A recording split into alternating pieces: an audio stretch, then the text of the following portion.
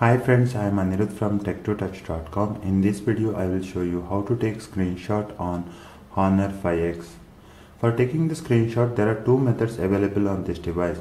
The first method is screenshot button method and the second one is volume down and power button method.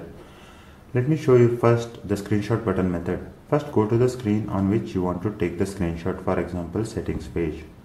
Here access the quick toggle menu. Tap onto the shortcuts here you will find the screenshot button. Tap onto it. The screenshot will be taken.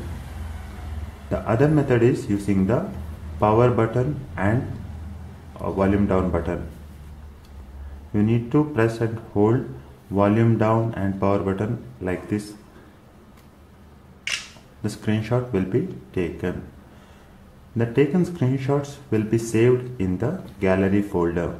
As you can see here, it will show all the screenshots which are saved. From here you can share it with your friends or you can edit the screenshot which you have taken or you can just save it for your future reference. Thanks for watching this video. Hit the like button if you find this video useful